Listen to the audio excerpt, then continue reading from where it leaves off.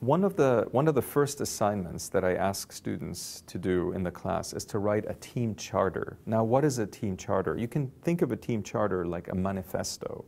It's essentially defining the identity and the goals that the team wants to pursue.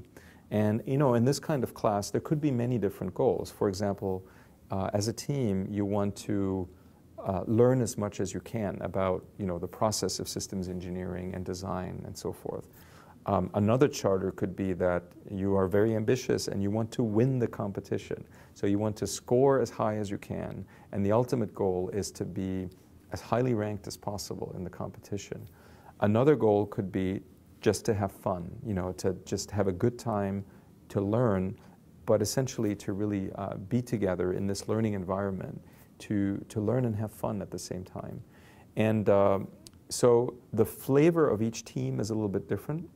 And rather than just letting it, you know, happen without much thought uh, or, or discussion, the purpose of the team charter or project charter is to, to encourage these discussions early such that you know, the team is, is on the same page as they proceed into the project.